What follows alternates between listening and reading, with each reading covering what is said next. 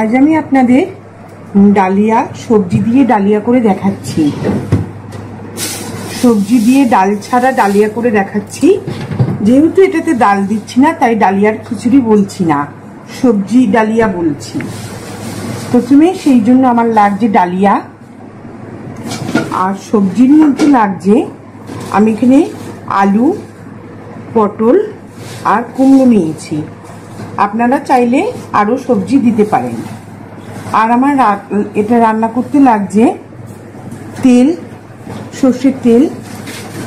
ফোড়নের জন্য লাগছে পাঁচ ফোড়ন, শুকনো লঙ্কা, তেজপাতা পরিমাণ মতো নুন, সামান্য চিনি, একটু আদা বাটা, জিরে গুঁড়ো আর জল।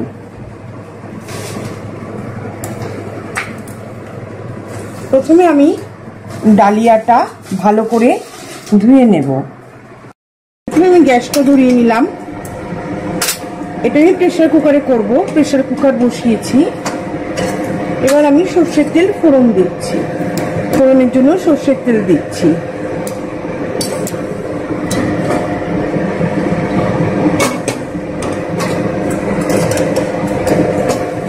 এবার একে একে ফোড়নগুলো দিয়ে দেব। তেজপাতা দিলাম।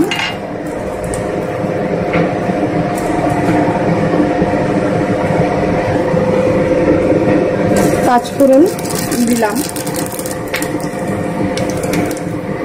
শুকনো লঙ্কা দিয়ে দিলাম।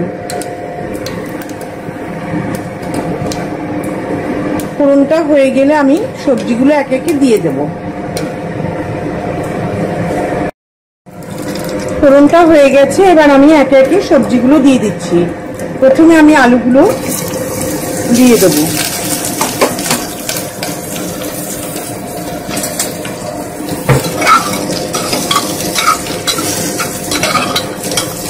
একটু নেড়ে ভাজা ভাজা করে নেব।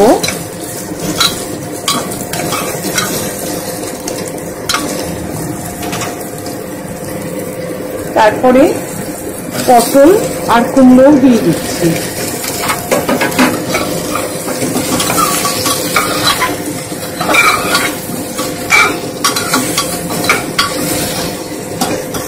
আলু, পটল, কুমড়ো একটু ভাজা হবে।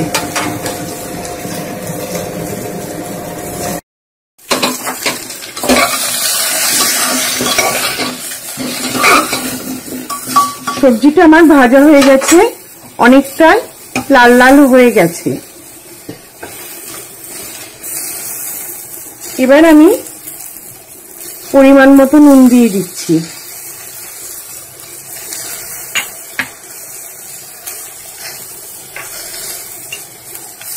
আদা বাটা দিলাম।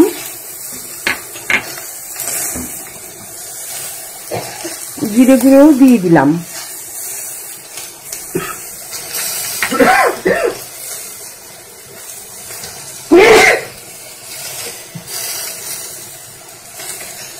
একটু মিষ্টি দিলাম, চিনি।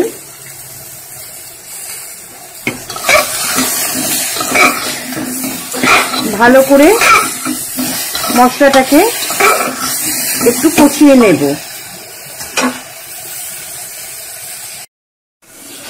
পরিমাণ মতো আমি একটু হলুদও দিয়ে দিলাম। ভালো করে সবজিটা ভেজে নিয়ে আমি ডালিয়া দিয়ে দিচ্ছি।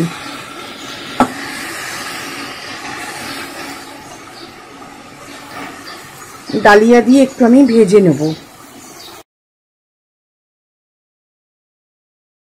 আশা করি এই ভিডিওটা আপনাদের খুব ভালো লাগবে। যদি সত্যি ভালো লাগে, তাহলে ফেসবুকে, হোয়াটসঅ্যাপে এবং বিভিন্ন সোশ্যাল মিডিয়ায় বন্ধুদের সাথে শেয়ার করুন। আর অবশ্যই ভিডিওটাকে লাইক করুন।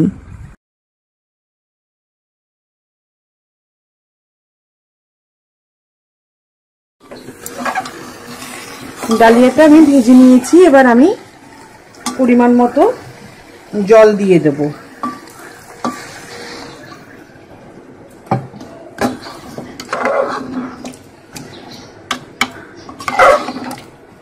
একটা সিটি কুকারে দিলেই রান্নাটা আমার কমপ্লিট হয়ে যাবে।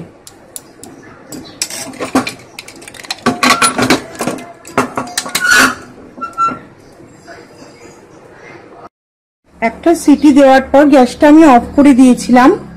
এবার আমি কুকারের ভাপটা তুলে কুকারটা খুলছি। দেখুন, আমাদের ডালিয়া সবজি দিয়ে ডালিয়া কমপ্লিট হয়ে গেছে। এবার আমি ওপর থেকে একটু গরম মশলার গুঁড়ো দিয়ে দেব।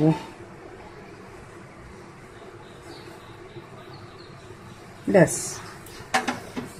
এবার নেড়ে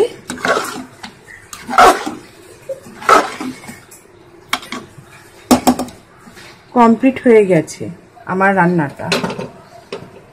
আবার আমি খুব শীঘ্রই ফিরে আসছি নতুন একটা অ্যাট্রাকটিভ ভিডিও নিয়ে। ততক্ষণ আপনারা সবাই খুব খুব ভালো থাকুন।